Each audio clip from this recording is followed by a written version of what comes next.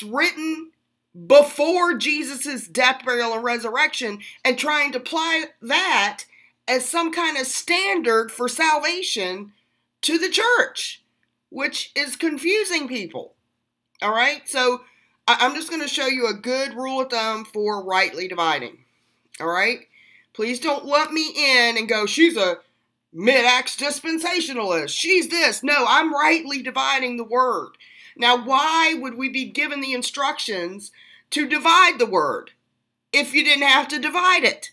To whom is he speaking? Under what covenant? All right, we have to look at that. So let's look at 2 Timothy. Now, let me remind you all scripture is profitable for reproof, for correction, for instruction in righteousness. All right, all of it is good for us. But you have to rightly divide it. I mean, the Old Testament points to Jesus everywhere. You know, it's wonderful. But when he tells you to stone disobedient kids or adulterers, is he talking to you now? I said the other day, you can't take descriptions of things that happen in the Old Testament and make them prescriptions for the new covenant. It, it, you can't do it. It's confusion. So let's look at 2 Timothy 2.15. Study to show thyself approved unto God, a workman that needeth not to be ashamed, rightly dividing the word of truth. Now, if you didn't have to divide God's word to know to whom is he speaking, why would he tell you that? Because if you don't divide it, you get confusion. It says that they wrest scriptures to their own destruction. Why? Because they're unlearned and unstable. All right, they don't know where they are. They're they're not sure. So let's look over here. Now I'm gonna I, I grabbed my King James Bible. I'm gonna go through it and we're gonna open up the epistles and see, hey, who are they talking to? Maybe we can get an idea of what I'm talking about. All right. So let me just remind you the four Gospels were written during the Old Covenant. Although it's under the New Testament section of our Bible, they were still under the Old Testament. All right? And Jesus came to Israel. Paul confirms it.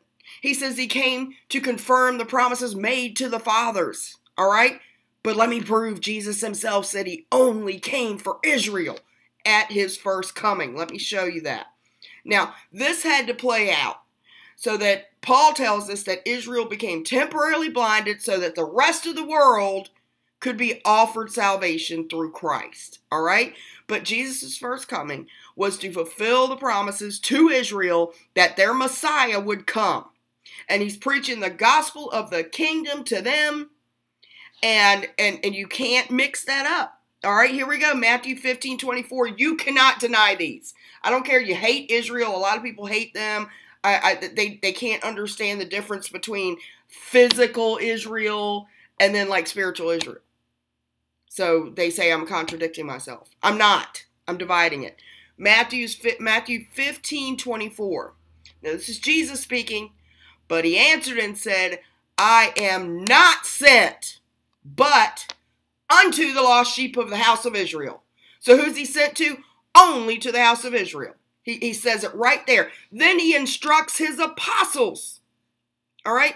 These 12 Jesus sent forth and commanded them, saying, Go not into the way of the Gentiles, and into any city of the Samaritans enter ye not, but go rather to the lost sheep of the house of Israel. And as you go, preach saying the kingdom of heaven is at hand. All right?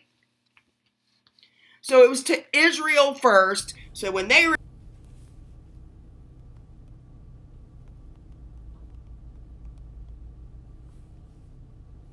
Look. Listen to this. Then came the Jews round about him and said unto him, Remember, he came but for the lost sheep of the household of Israel. How long dost thou make us to doubt? That's what Renee's saying. She's saying they're blind. She's saying right now they're blind. So they're blaming who for making them doubt? It's because they're seeking a quote unquote what? Sign, right? How long dost thou make us doubt? If thou be Christ, they said what? Plainly tell us. See, there's they're who are they blaming for for making them doubt? Who are they blaming for their blindness? They don't see themselves as blind, but who are they? They're saying, "Look, you're making me doubt." Now, here's what I got to ask you. So, so Renee's trying to tell you guys that now is just a different time. He says they're they are blinded. My question for you is, who's blinded? Because again, you got to remember, Calvinism teaches the same concept that you know, basically, these people can't believe, and the reason they can't believe is because God has to give them the Spirit, and then they can believe. Well, wait a minute. Isn't that exactly what these guys are teaching? They're teaching that not only are the individual people who heard Christ, like God, if Christ went and speaks, God in Christ goes and speaks to a crowd, right? And there's people in that crowd who call themselves Jews. And then some of them listen and they actually believe, and some of them did not believe. Now, the ones who did not believe, whose fault is it that they didn't believe? It's their fault that they didn't believe. It's their fault that they didn't believe. Now, are you telling me because they didn't believe that when they go home, all of a sudden their children and their wife and all that stuff, and then their children's children don't believe? You know what? You know what you're making God when you do that. When you say, "Oh well," not only because they rejected the word of truth are they blind, but their children and their children's children children are blind. Meaning they can't even believe or receive the truth. And so that's what these guys are teaching. It's, it's Calvinism. It's, it's called total depravity. They're teaching that these guys are basically totally depraved. See, they don't say it that way, but you got to ask Renee. You say, wait a minute, Renee. Are you saying that God blinded? Because this happened. How long ago did this happen? So if we're in the quote unquote church age, how long have these people been quote unquote blinded? Because the people, this is back what, supposedly 2,000 something years ago? And so how many generations have been born of these of these same people who Renee and these people say, oh, they're blinded? Do you see the problem? Just because you reject it doesn't mean your wife doesn't reject it. Doesn't mean just because you reject doesn't mean your wife automatically rejected it. Just because you don't believe the truth and you're not saved doesn't mean your wife and your children and your children's children doesn't mean they're going to reject it. That's why Jesus says, I came to bring a sword. He came to divide. Christ came to divide the sheep from the goats. Didn't he not say that, guys? And so when you go to, he says, they say, How long dost thou make us to doubt? If thou be the Christ, tell us plainly. Jesus answered, I told you, and you believe me not. He said, You believe me not. He didn't say, Well, you don't believe, and your children's children. No, what'll happen is if they go home and if they start telling their children, Hey, don't believe on the Lord Jesus Christ, then they blinded. They're, they're the ones who are making people two folds the sons of hell when they first found them. Remember, they're the one who compassed land and sea to find a proselyte, and when they found them, they're making them twice the son of hell when they first found them. They're doing that. That's what the Bible says. So this lie that they're they're blind, who blinded them? And who is who are they? Because the people who are blinded are the people who heard then and didn't believe at that time. Each person on their own has to hear the gospel and believe it. It's no quote group belief. Oh, we as a group, if one of us believes, then all of us believe. But if one of us doubts, then all of us doubt. That's not how it works. That's not how it works. The gospel was preached unto them as well as unto us, but it did not profit them being not mixed with faith in them that heard it. So when they say, How long hast thou made us doubt? If thou be the Christ, tell us plainly. Jesus answered and told them, I tell you, you believe not the works that I do in my whose name? In my Father's name.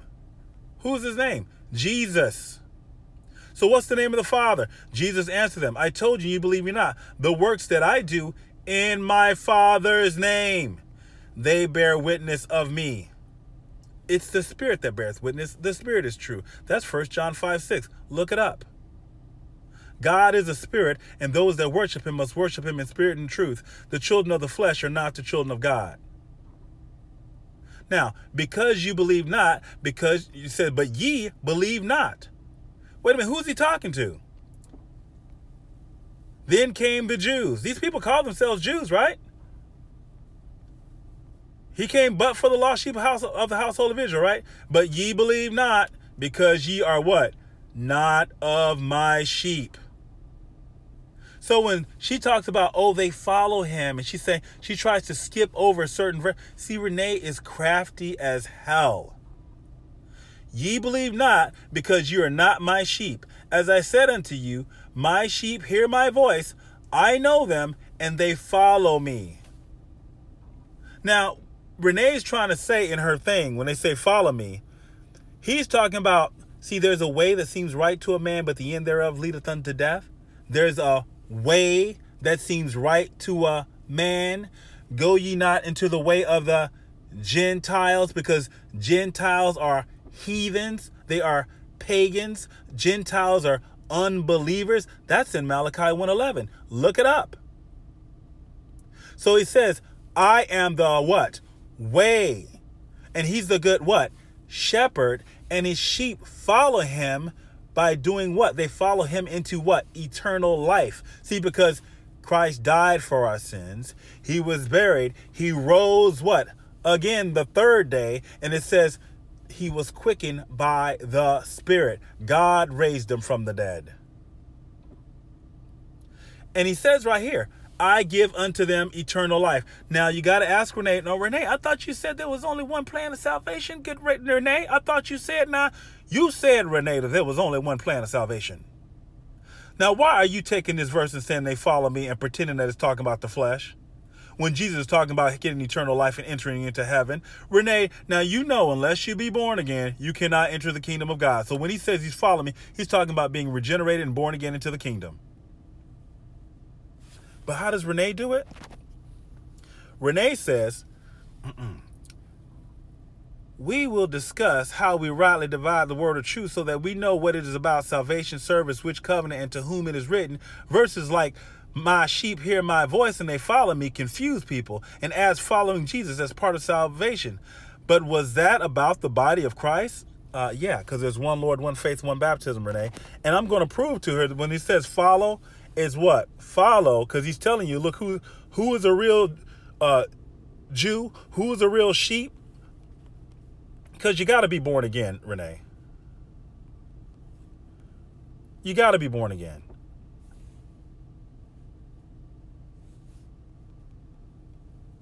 Look. And here Jesus shows up again in Matthew.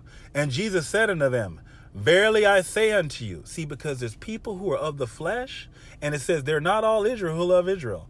Neither because they're the seed of Abraham are they all children. That is, the children of the flesh, Renee, these are not the children of God. God's a spirit, and those that worship him must worship him in spirit and truth. See, if any man be in Christ, he's a new creature. Old things are passed away. See, you right now, you're born of the flesh, you're carnal, right? You're temporal. It says the things which are seen are temporal, the things which are not seen are eternal. The things which are seen are temporal. The things which are not seen are eternal. Well, he came to give eternal life. So you can't see who who's God's people are because God is a God of the living and not the dead. It's in your Bible. Look it up.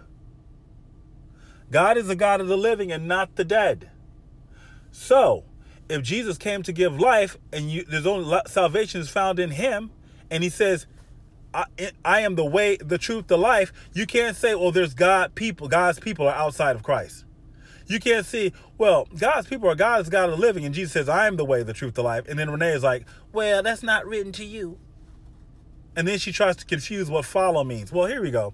And Jesus said unto them, Verily I say unto you, that they, that ye, ye, ye, ye which have followed me in the what? In the regeneration in the regeneration. You must be born again. Right? Regeneration.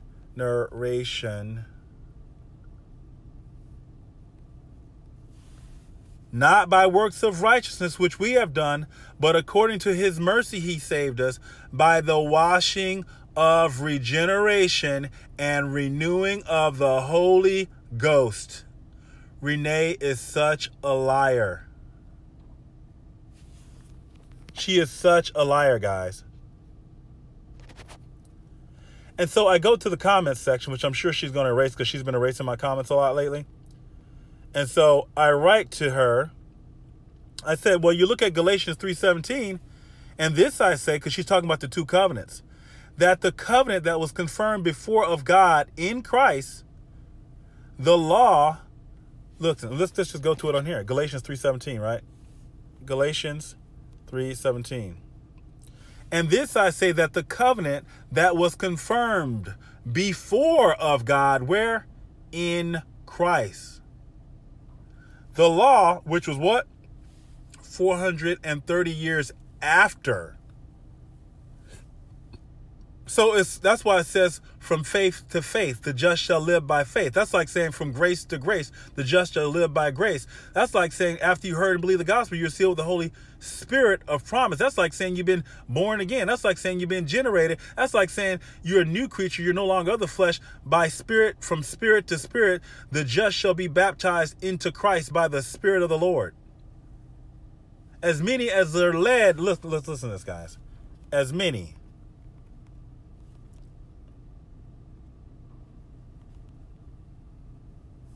Look, this is the follow. For as many as are led by the Spirit of God, they are the sons of God. Renee is such a liar. Renee is such a liar.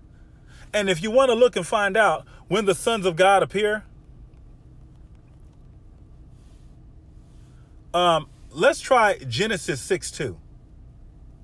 Let's try Genesis 6 4. Let's try, let's go throughout all the Bible and Deuteron- Deuteronomy. Let's go throughout all the Bibles talking about the sons of God. Renee is such a liar. For ye have not received the spirit of bondage, but ye received the spirit of adoption, whereby we cry, Abba, Father. She's in her video, she's talking about, well, in the Hebrews, blah, blah, blah. Well, funny, because it says, furthermore, we have had fathers of our flesh. See, the children of the flesh are not the children of God, Renee. Which corrected us, we gave them reverence, shall we not much rather be in subjection unto the Father of spirits and live? You remember when they said Jesus, they said your your mother, your sister, and your brother asked for thee, and Jesus says, Who is my mother? Who's my brother? Who's my sister? Is those that do the will of my Father. And it's the will of the Father that all who see the Son believe on him have everlasting life. See, guys, Renee is such a liar. And so the Bible's saying, look, the confirmed before in Christ in Galatians, right? So we go back to Galatians 3:17. It says, look, it says the covenant that the was confirmed before of God in Christ, the law which is 430 years after cannot disannul should make the promise of none effect. So that promise was given to anybody who would believe it and receive it. Anybody. But you know, let me show you a little trick. This is what Renee's teaching. Because you see how the covenant says in Christ? That means you got to be in Christ. You're either under the law. When you're born again, in Christ, see, the flesh is under the law, but the Spirit have made me free from the law, right? So it says here in KJV, it says God in Christ. It says, and this I say that the covenant that was confirmed before of God in Christ, the law which was 430 years after, cannot disannul that it would make the promise of none effect. So Renee was like, well, you can't say that because, see, you can't take things that's before Jesus Christ, quote unquote, died on the cross. Well, let me show you something else.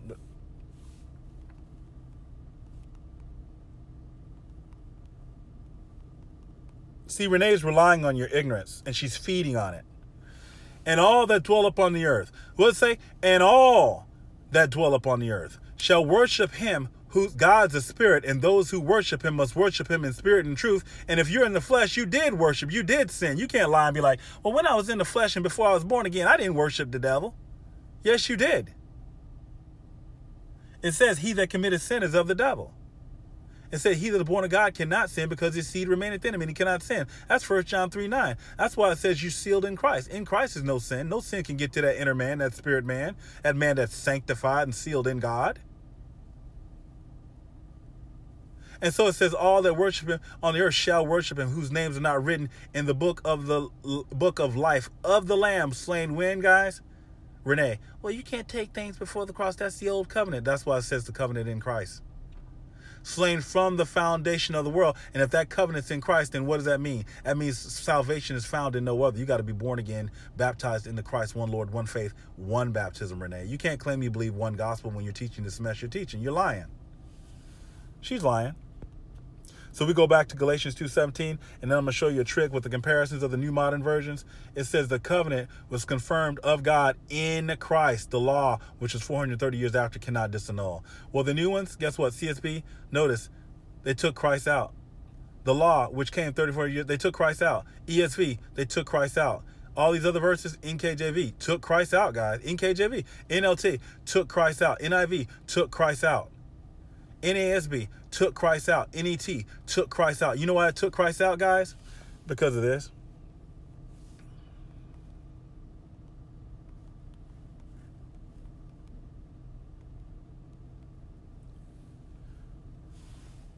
Because unto him be glory in the church by Christ Jesus throughout what? All ages, world without end. See, because you're you're not Israel unless you're born again, because Israel is in Israel. Guess who Israel is, guys? I'll just type it in. Exodus 4.22. And thou shalt say unto Pharaoh, Thus saith the Lord, Israel is my son, even my firstborn.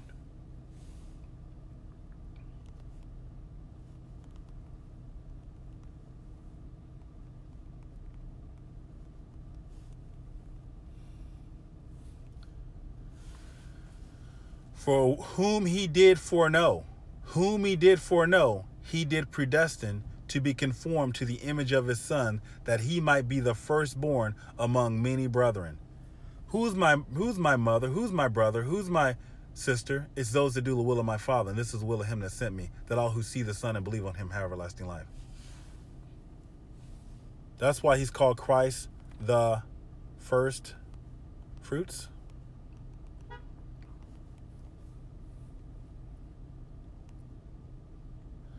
See, this is why it's the church throughout all ages, right?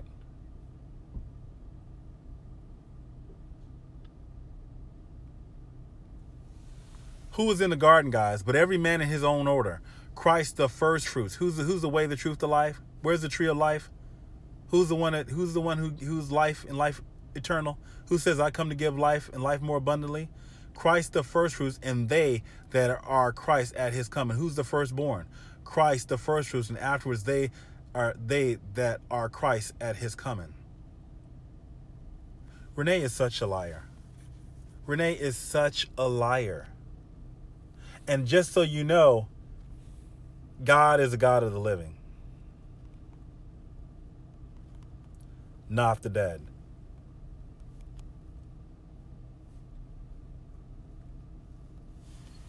For he is not a God of the dead. So you ask Renee, you say, well, if though you say they're God's people, I'm confused. Do they have eternal life? And you say they're God's people, and you say, but they're not the body of Christ. I thought I thought life was found in Christ.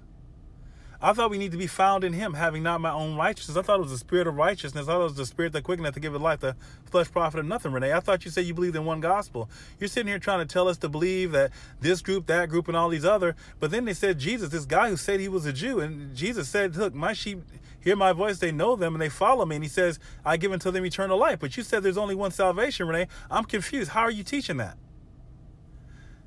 Right? For he is not a God of the dead we thus judge that if one died for all, then we're all what? Dead. Oh, I guess you must be born again. I guess you got to follow him in the regeneration, washing, renewing of the Holy Ghost. But of the living, for all live unto him. Let's go back to what Renee says here. Renee is trying to teach that following means some kind of physical carnal falling, and she's really slick and slyly and subtly switched that over because she wants to deny that scripture. So I just show you how all that changed. I showed you how that that what that meant. And so if you go back to Renee's comment, guys, you just go back to it. Renee Rolling here. Discuss how we rightly divide the word of truth so that we may know though what is about salvation under which covenant and to whom it is written. Nobody's saved under the law, guys. That's why you got to be born again from above. Jerusalem above is free. It's mother of us all, those of us who believe. Those of us who know that God is a spirit. And then she says, Verses like my sheep hear my voice and they follow me confuse people and adds following Jesus as part of salvation. I mean, I thought he was the good shepherd. I'm sure he doesn't lead us unto death. I thought he got the. I, got the, I thought we had the victory in Christ. I thought if we were baptized in Him, He says he, He's going to return. He goes to heaven. He says, "Lo, I go to prepare a place for you." So I'm pretty sure that we gotta we're gonna follow Him there. We're we gotta be born. We're seated in heavenly places in Christ Jesus. Renee. See, Renee, there's a way that seems right to a man, but the end thereof leadeth unto death. Jesus says, "I am the way, the truth, and the life." Life is found in Him. Okay, you're a liar. By the way, all of sin and come short of the glory of God. When it's asked, What must I do to be saved? is believe on the Lord Jesus Christ, and thou shalt be saved.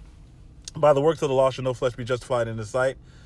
The Bible says just believe. You got to believe the gospel. Christ died for our sins. He was buried. He rose again the third day. He was quickened by the Spirit. See, there's a man, Jesus Christ. He's a mediator between God and man.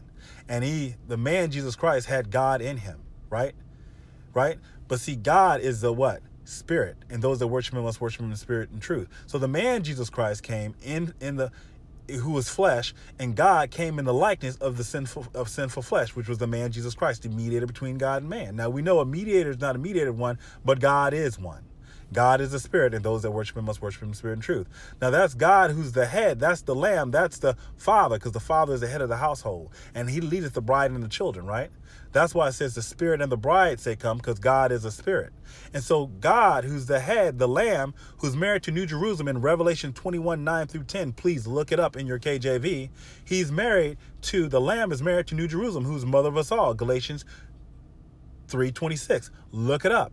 And when you read through that, it tells you about the children of the bondwoman are children of the flesh, but the children of the promise, which are children of the spirit, it says they are free. And it says, The children of the bond one, which are children of flesh, shall not be heir with children of the free one, which are children by the Spirit. So the Bible is clearly telling us that. So as the Bible is telling that, he's saying he's separating the sheep from the goats. And all of those who stayed children of the flesh, that means they were not born again, Nicodemus. That means they're still a child of the flesh, and that means they have an unclean spirit in them. And light hath no communion with darkness. So Renee is lying to you. She's a liar. And so you got to be born again. So if any man be in Christ, he's a new creature. Old things are passed away. All things are become new. So you got to be born again, a totally new creature. And so he's explaining that the children of the flesh are not the children of God. Hence in Hebrews, he's called the father of spirits. And since he's the father of spirits, and that lamb is married to New Jerusalem, and that New Jerusalem, it says, is the children of the promise, which receive the Spirit after you heard and believe the gospel of your salvation, you are sealed by the Holy Spirit of promise. It's the Bible is explaining to you that that which is born of spirit is spirit, that which is born of flesh is flesh. It says flesh and blood cannot inherit the kingdom of God. It's the spirit that quickeneth to give life, the flesh profiteth nothing. So the Bible is explaining that. And so we who are of the body of Christ, we are called the first fruits because the seed, which is the word, is fruitful and it multiplies. So you receive the word. Thy word is truth. Sanctify, sanctify me by thy word. Thy word is truth. So once you hear the gospel, you believe that gospel. And if you believe it, then you're a new creature in Christ because Christ is life. He is life. And so that's why it's saying the body is the first fruits because the head, who's the father, is the savior of the body. First fruits. Right? And that's why when you go to Exodus, it says, Israel is my son, even my firstborn. And when they came out of Egypt, Egypt represented the bondage, and the bondage is represented by the flesh. And that's why Paul says, Who will deliver me from the body of this death? And if you look in Ephesians 5 29 through 30, it says, we are of his flesh and of his bones also. But then it says, if the spirit of Christ be in you, it says the body is dead. Now, God is God of living and not the dead. So it's saying we are those who died to the flesh. And we live by the what? Spirit. It's the spirit that quickeneth to give life, the flesh profit nothing. So God raised them from the dead. I pray you believe it, man. Renee's a liar and she's a deceiver. You know, um, you gotta you, you people you got people come as an angel of light, guys, and you just gonna you're gonna have to test the spirits so uh, let God be true and every man a liar. You got to test the spirits. I just told you something. Renee told you something. She's telling you how the book's not for you, it's not for you, blah, blah, blah, and all this kind of stuff. Well, you know, she doesn't believe God when he says a Jew is not one outwardly, neither is there circumcision outward in the flesh, but a Jew is one inwardly, and circumcision is the heart by the Spirit. She doesn't believe in the Spirit. She doesn't believe it because then when it says follow me, she can't take it that, wait a minute, he came but for the lost sheep household of Israel. A, a person who called himself a Jew was saying they were his sheep, and he said, no, you're not my sheep. So they didn't devise the whole scheme to try to get around that. And that's all she's doing. That's all she's doing. And by the way, the Bible she held up is a Jack Imp, Jack Imp, I think his name. That's a Jack Imp study Bible. That guy is a carnal Zionist. So for her to say, I don't believe in, in, in Zionist teaching, look at the pause the video and look at the Bible she held up. I took a I took a screenshot of it. It's a Jack Imp study Bible. So that that's you want to know why people are confused? She, she's hardening her heart to the truth. That's the problem. Praise my Lord and Savior Jesus Christ. Salvation is definitely a free gift. You got to have the right Jesus, guys. Can't have the wrong Jesus. So if you got that Trinity, that Trinity false God, you, you, you're you're you're not saved. Hate to tell you that, but that I got to tell you that. That's the truth. You have to rightly divide. Now, in the original Textus Receptus, the verse "who walk after the Spirit, but not after, but um, not after the flesh, but after the Spirit" is not even in it. But even if you want to put it there, that who walk after the spirit, but not after, uh, but um, not after the flesh, but after the spirit, is not even in it. To rightly divide. Now, in the original Textus Receptus, the verse "who walk after the spirit, but not after, uh, but um, not after the flesh, but after the spirit" is not even in it. But even the rightly divide. Now, in the original Textus Receptus, the verse